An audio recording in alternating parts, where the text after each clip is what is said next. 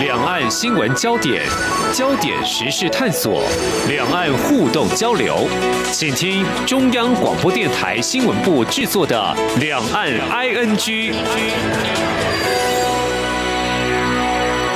听众朋友您好，我是黄丽杰。欢迎收听两安居，我们三十分钟一起掌握新闻时事焦点。听众朋友听过《论语》当中有这句话吧？就是“有朋自远方来，不亦乐乎”。那反映最近一个月来，台湾处于中国大陆强力的军演，并且进行经济胁迫之际，陆续有来自美国、日本、立陶宛等非邦交国，还有友邦圣文森跟伯琉的政要来访，也算是贴近了啊。那么当两岸没有办法有政治共识，来进行对话。那么，中国大陆在美国联邦众议院议长佩洛西访问台湾之后，强硬动作似乎已经掀起台海局势紧张。那么，当区域情势出现了变化，有些国家。并没有漠视，而是以实际行动表达了关切。像法国的参议院代表团将会在七号抵达台湾访问。那么，这是继法国参议院外交暨国防委员会副主席，也是友台小组副主席格里欧跨党派国会议员六月访团之后呢，又有法国的友人到了台湾，应该可以说显示台法国会外交友好。相信对实质关系还有所牵动的面向，都是可以乐观期待。但是。中国大陆跟法国关系其实也算是还不错，也不能说不好。但是到底出现哪些变化呢？我们在今天特别邀请台湾大学政治学系副教授陈世民来观察探讨，非常欢迎陈副教授，你好。呃，主持人好，各位听众好。好，上次跟副教授您来谈的焦点是啊，法国在今年四月刚完成总统大选，那么是由总统马克宏成功连任嘛？哦，那紧接着，其实，在六月份他们改选的国会，那么执政党并没有赢得国会的多数，必须跟其他政党结成联盟。呃，这是在法国的一个嗯政党国会的一个现况哦。不过政党的席次有一些消长，但是我想我们聚焦的是。台法关系有没有增温？因为如果关心这个焦点的话，七月下旬的时候，我们的立法院长尤锡坤率跨党派立委前往法国访问，并且还拜会了法国的国会。呃，副教授，你怎么样来观察台法关系？那么最近似乎是有渐趋友好的一个趋势。的确啊，就像刚刚主持人讲的哈，台化之间在国会的外交上面，可以说在今年有相当程度的突破。好像今年六月，哈，法国的参议院第一次的一个哈参访团到我们台湾访问。好，那七月的时候，这是我们立法院长尤锡坤到法国来国会访问。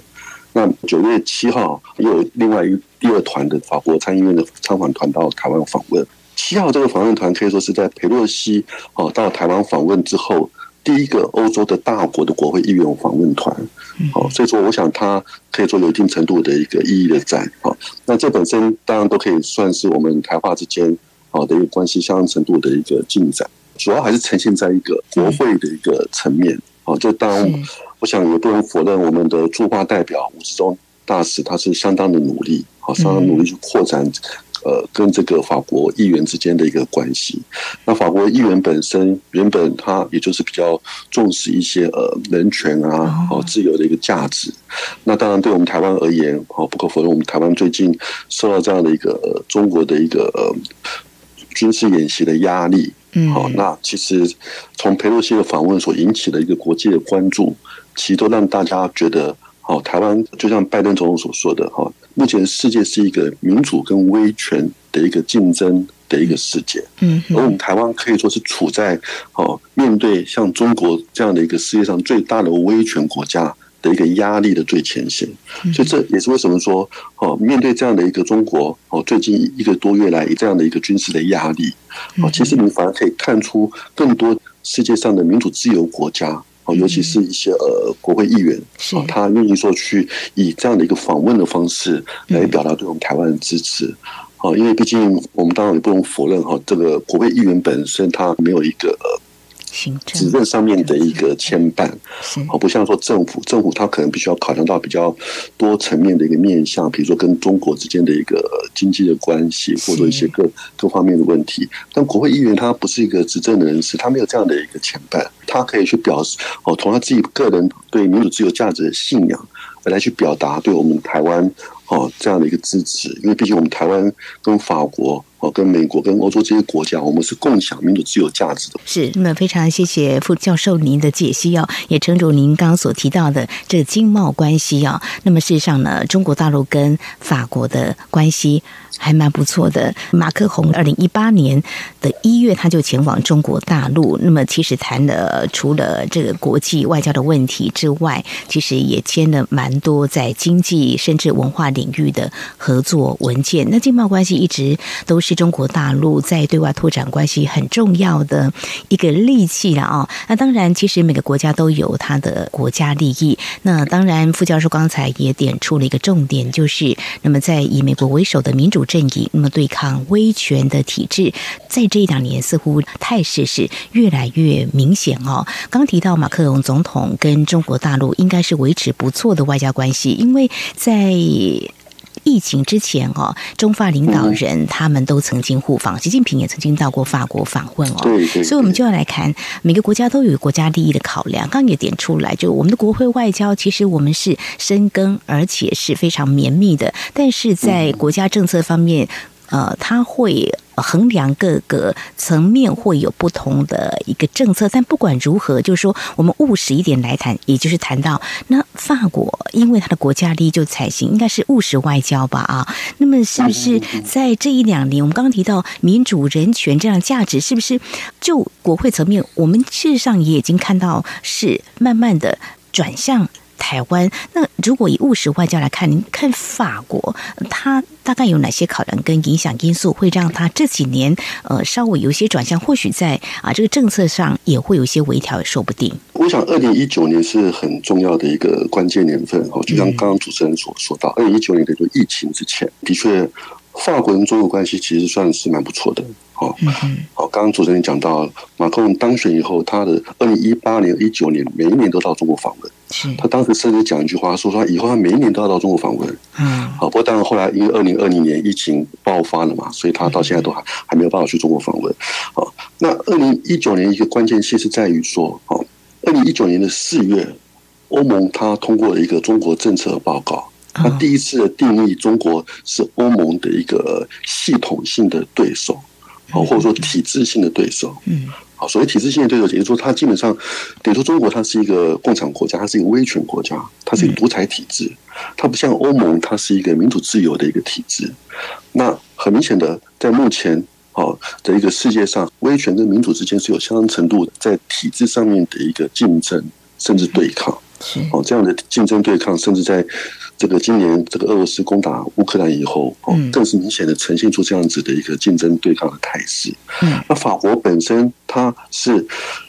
一七八九年世界上第一份的人权宣言的一个宣告国。嗯嗯，他现在以它自己本身是一个人权自由价值本身的捍卫者自居。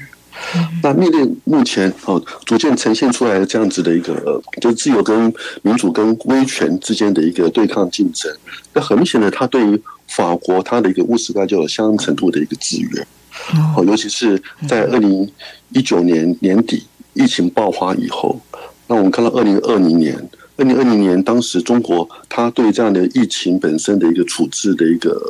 大外宣的一个做法，哦，他的大外宣的做法其实很简单讲，就是你看中国当然不能否认，他二零二零年很快就把疫情给控制了下来。是，但你看二零二零年，你看美国、欧洲很多国家都是相当的严重的疫情啊。嗯，而这样的一个状况，反而让中国去透过他的大外宣去宣扬说啊，你看是我们中国这样的一个威权体制，才有办法去处理这样的疫情的危机。反而你们那些民主自由的一个体制，你们是好非常的没有效率，没有办法去应对这种危机的。然后就有这样的。方式来去宣扬说威权的体制是比较优异的，然后再去讲说你们这些一般认为这个新冠肺炎的疫情，哈，它的起源，哈，可能中国要负相当大的一个责任嘛。但问题是中国一直在推卸这个责任。那我想这样的一个做法，哈，一种战狼外交的一些作为，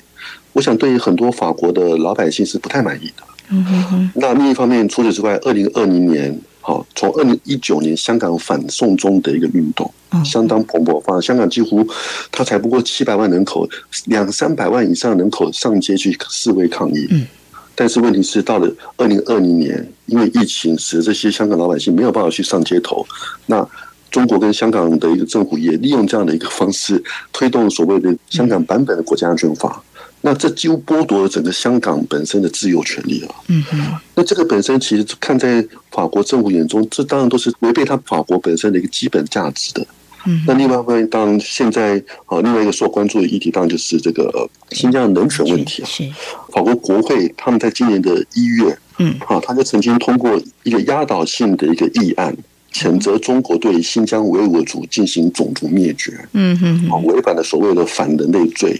好，不当然这是国会的议案呐，好，它并不是说呃政府去做这样的一个宣示，好，它只是一个国会的议案做这样的一个谴责。但从这个谴责你都可以看到，法国国会是相当重视这样的民主自由的一个价值的。嗯哼好，那除此之外，另外一个重要的事件当然是在于在二零二一年开始吧。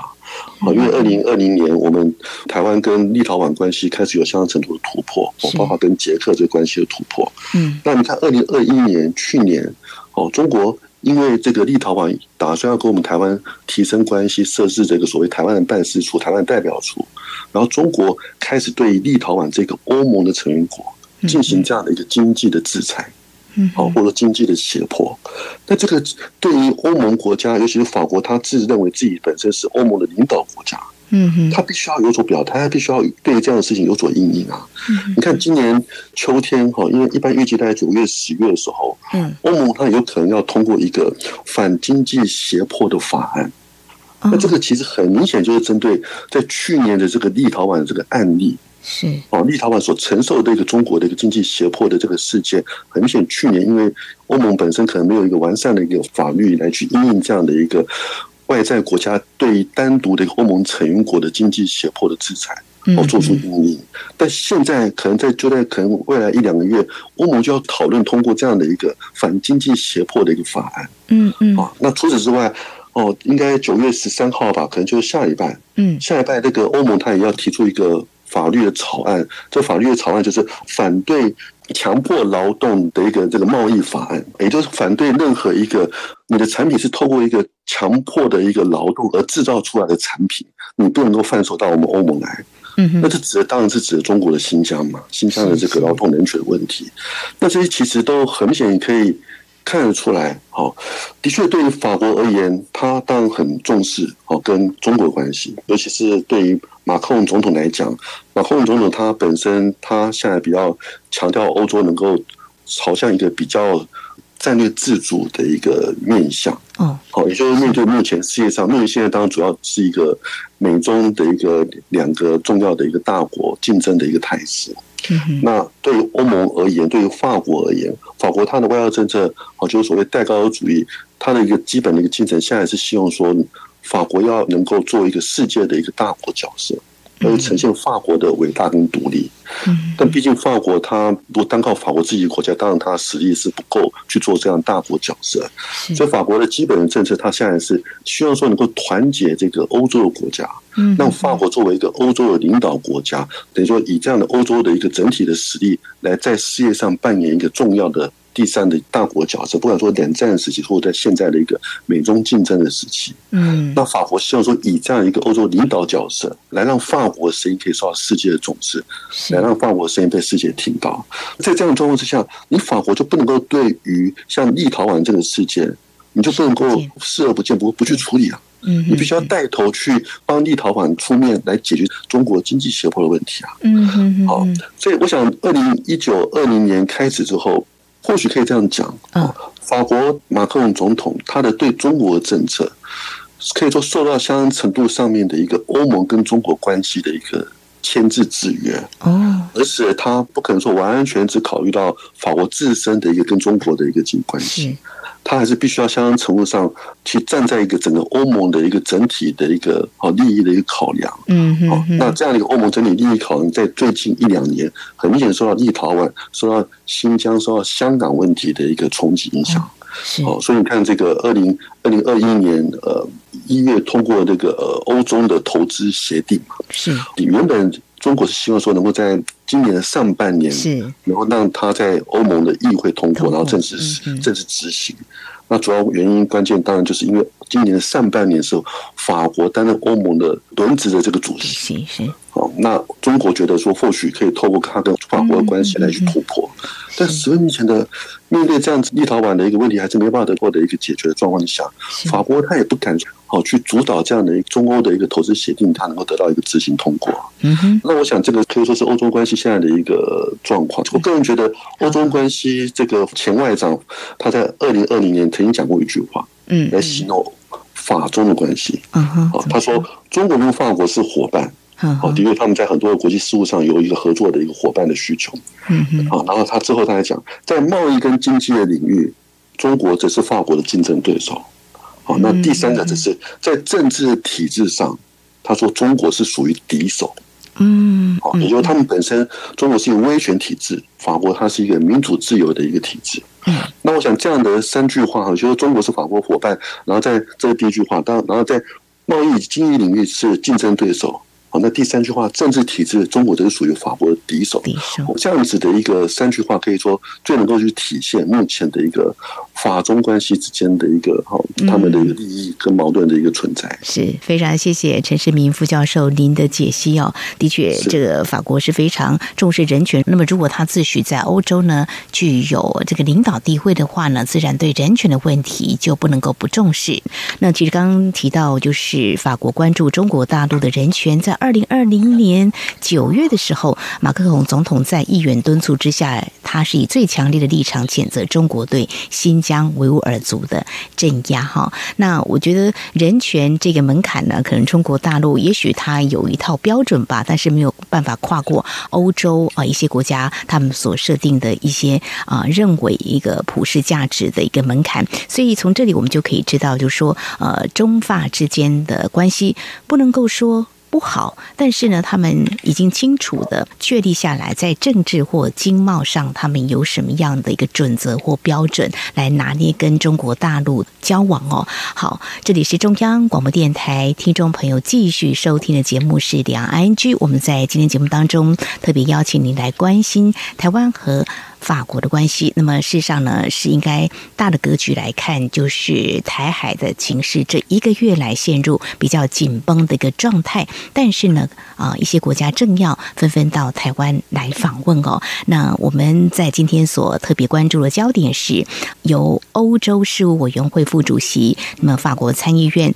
贝勒发所率领的外交及国防委员会副主席卡迪克等人的代表团到台湾来访问，算是在。今年可以说是第二个访团，因为刚刚我们提到是今年六月的时候，法国参议院外委会的副主席格里欧就率跨党派议员啊访问团到台湾哈。好，那么刚刚提到就是台法之间有一些价值理念相近这样的基础之上，我想呢，在上次四月份的时候，节目谈到马克宏他连任，那我们有触及到就是说台法之间的经贸合作，我们相信还是可以更上。上一层楼了哦，那在这个部分，我们是可以在哪些领域进行合作来深化双方的关系呢？副教授，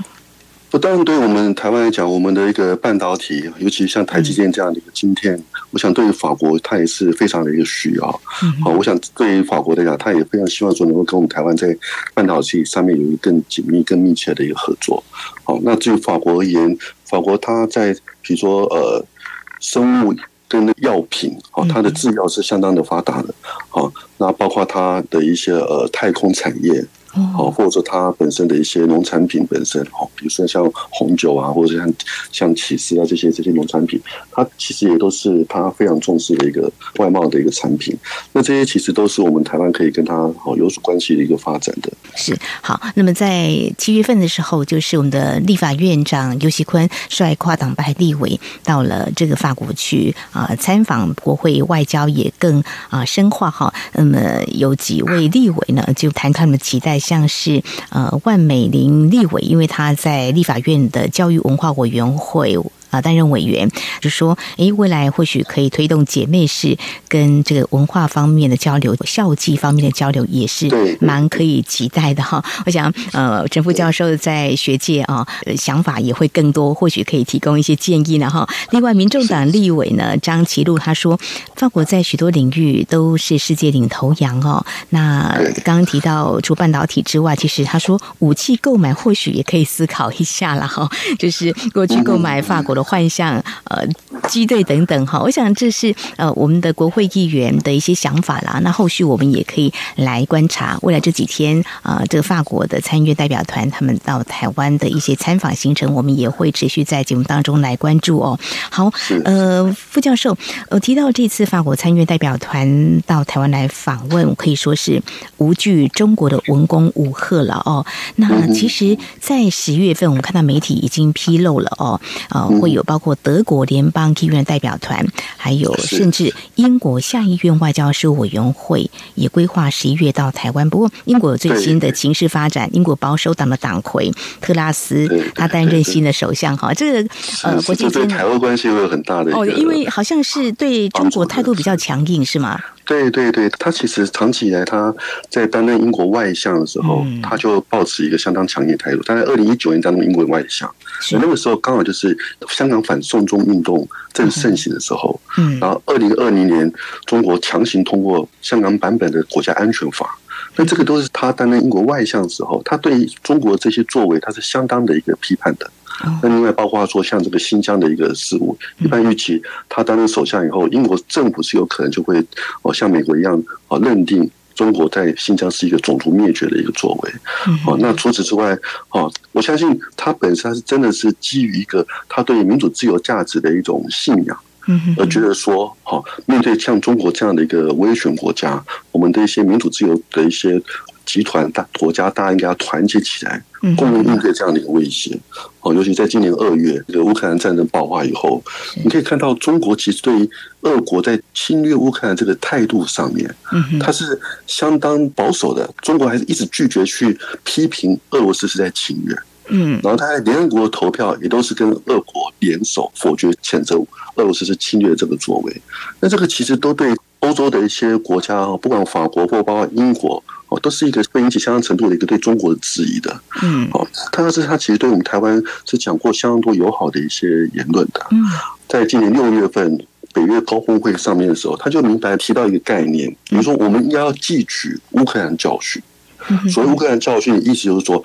乌克兰他在二月他被侵略了以后，西方这些自由民主国家才开始去好大力去援助乌克兰。嗯嗯，但问题是，你一一开始给乌克兰都是一些二制武器嘛，就是从东欧先运一些二制武器。是，但后来二制武器一下又很晚了，所以三四月开始给乌克兰一些西方的先进的科技武器。嗯，但问题这些武器你大概要两三个月以上的时间才能够熟悉，才能够知道去使用嘛。嗯，所以你看，乌克兰大概是大概现在大概八九月的时候才开始对俄罗斯进行一个反攻。嗯，但问题是战争已经进行了半年了。乌克兰已经死伤非常惨重了，是那这个就是所谓的乌克兰教训。好，特拉斯他的意思就是说，我们应该要在侵略还没有出现以前，我们就要帮助那些受到侵略可能威胁的一个国家。那他当时就明白提到，提完这个乌克兰教训之后，他接下来提的就是台湾。他说，我们应该要继续这个乌克兰教训，不能让他在台湾再次的出现。我们要尽快去帮助台湾获得一个足以防卫。自己的一个防御性武器来去吓阻中国的侵略，嗯，好，那这个我想这对我们台湾是一个相当友好的一个这样的言论。那另一方面，他也在五月的时候参加这个七大工业国 G 七的一个会议的时候，他也呼吁这些七大工业国应该要跟澳洲联手合作，改变他们跟中国的一个贸易的方式。那最主要目的就是要减少对于中国的一个商业或经济上面的依赖。那这个同样也是一个乌克兰教训。这个乌克兰教训就是因为你看现在为什么今天欧洲很多国家，它对于这个俄罗斯的制裁有点绑手绑脚。嗯，那主要是因为这些欧洲国家，尤其像德国，它对俄国的石油、天然气的一个高度的依赖嘛。对，所以这是为什么欧洲现在通货膨胀这么一个恶化。那是因为过去二零二一年以前，他们高度的依赖俄罗斯的石油，嗯，跟天然气。所以特拉斯他就讲啊，就是因为过去大家太忽略了对于俄罗斯的依赖可能造成的一个。战略的影响，嗯，而使得今年二月让俄罗斯觉得他可以，因为有这样的一个你们欧洲国家对我俄国依赖，说我可以去打乌克兰，我我会觉得你欧洲国家让我俄国没辙，所以特拉斯他就明白来讲，我们要汲取这个教训，但这个教训不要在台海再次的出现，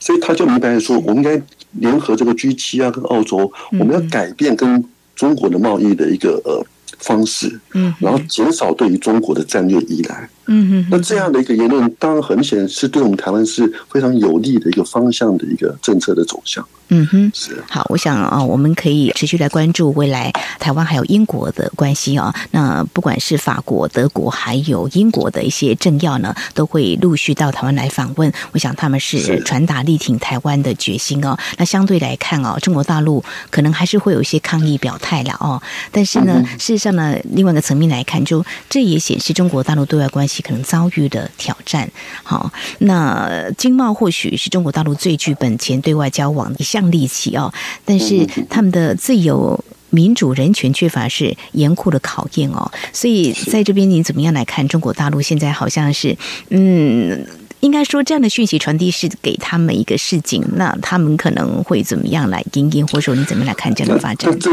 当然看中国你自己怎么样去思考嘛。因为我想这几年的一个中国外交哦，至少在。这些美欧的民主自由国家，它是相当孤立，日益的呈现孤立。哦，尤其对现在这个乌克兰战争爆发以后，中国给人感觉还是站在这个俄罗斯那边的。战争还没爆发之前，普京去中国访问，他们就说，俄中友谊没有这个止境，俄中的合作没有这样子的一个限制。啊，然后现在战争爆发以后，中国是目前买俄国石油最多的国家。嗯，哦，但这个的本身都会让这些欧洲的一些国家民主自由的，像美国，对中国相当程度的质疑。那另一方面，当然你中国你的一个战狼的外交，哦，你的一个对于新疆、对于香港，或者说对我们台湾的这样的一个威胁胁迫，